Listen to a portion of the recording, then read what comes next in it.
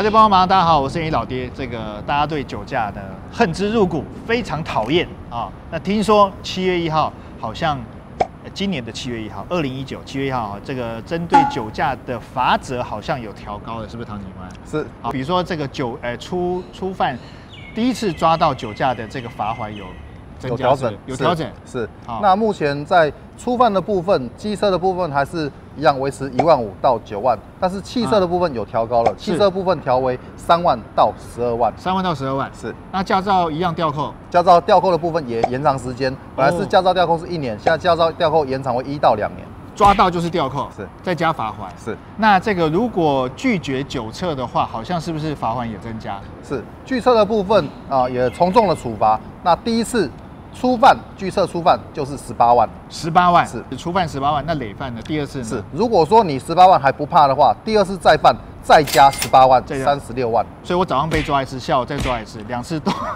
都拒绝酒测，是就三十三十六万，十六万。对，好，如果你还不死心，要在第三次的话，再加十八万。所以应该先抓去关了。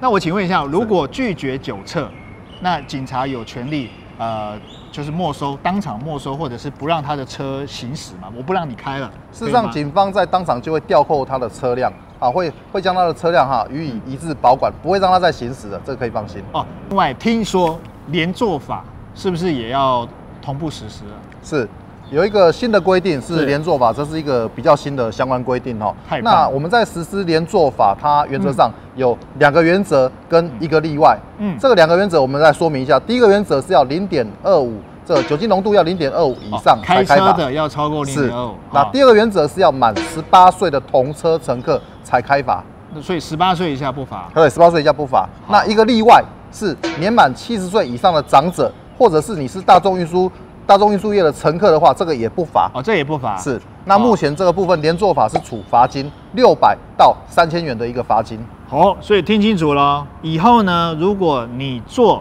开车，呃，酒驾开车的人开的车，哦，只要被罚，你十八岁以上都会被罚多少？六百六百到三千元的罚金。到三千。